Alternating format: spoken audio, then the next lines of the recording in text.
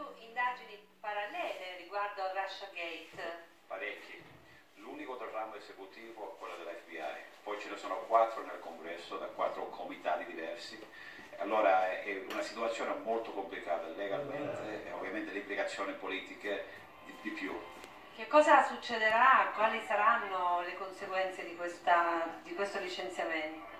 C'è la possibilità di una nomina di un procuratore speciale. Fino adesso sono riusciti a evitarlo, però se c'è abbastanza pressione politica, non solamente dal Partito Democratico, principalmente dal Partito Repubblicano, uh, e se c'è la nomina di questo procuratore speciale, sarebbe uno indipendente a uh, fare un'indagine indipendente. Come si sta muovendo Trump in questi mesi? Come vede il futuro di Trump?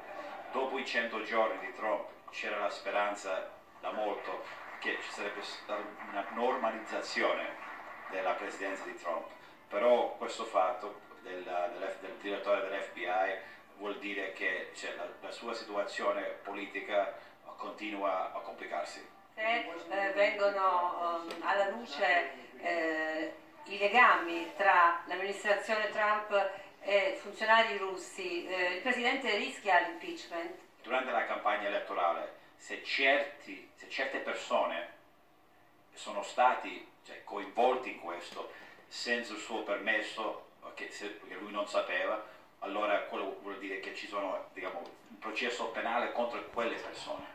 Sul fatto che eh, i loro rapporti saranno ottimi e che collaboreranno insieme, come vede questa futura collaborazione tra Stati Uniti e Russia? Sì, da un punto di vista del ramo esecutivo di governo può continuare, quello è senza dubbio, però ovviamente c'è il processo interno americano su questa indagine ovviamente complicherà moltissimo anche le relazioni con la Russia